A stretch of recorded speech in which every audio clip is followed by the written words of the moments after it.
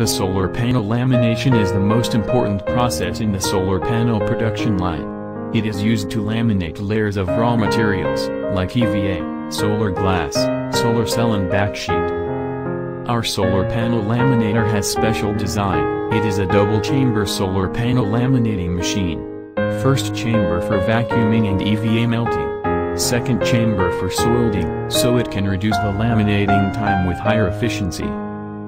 The maximum laminating size is 7200 multiply 2400 millimeters. It can produce 6 pieces 700 watt solar panel in one laminating time.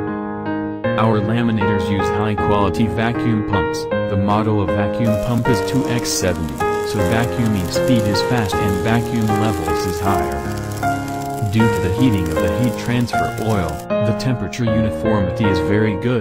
Produced solar module has no air bubbles, the EVA adhesive has high viscosity, so the solar panel useful life is relatively long. Ups Siemens and Schneider accessories, so it has a long service life low operating noise and relatively simple operation.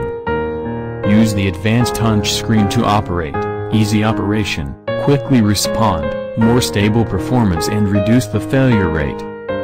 The safety protection measures of the equipment are relatively complete, and it can be equipped with multiple sensors. If the equipment fails, it will automatically alarm and display the fault information. REOO Technology Company is a leading manufacturer of solar panel machines in China. We have rich experience in design, production, transportation, installation and commissioning of solar panel production equipment. We always supply fast service and good after service.